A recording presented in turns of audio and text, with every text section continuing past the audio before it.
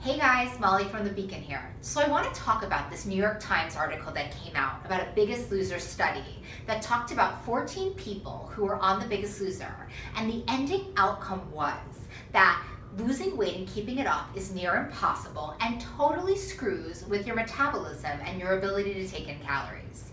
What a catastrophe. And you know about the United States of America, guys. Catastrophe is like our favorite word. And this thing blew up so big that I was sitting in session with a bunch of parents and they said to me, should we just quit treatment, Molly? Is it over? Should we just call it a day? Oh my goodness. I mean, listen, losing weight and keeping it off is really, really, really hard. Like only 5% of people do it. But there is absolutely no reason that you cannot be in those 5% of people.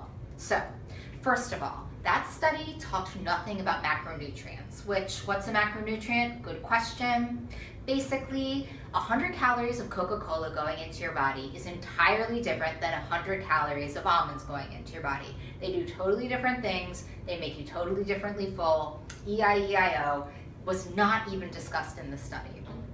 A couple of other things is, there was that was one study with 14 people. There are studies with like 135 people that show very different things. So we can't take one study and globalize it so that we're all hopeless. One more thing that I think is maybe the most important thing is that this study only talked about people eating and exercising. And a lot of these people likely fit criteria for binge eating, for food addiction, and the treatment of that is so outside the realm of food and exercise. Like you can't have a personal trainer cure a food addiction or an eating disorder. So here's what I want to say.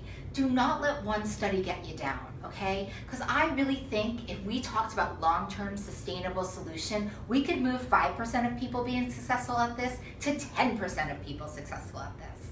So I believe in you, and I want to see you next week. Bye.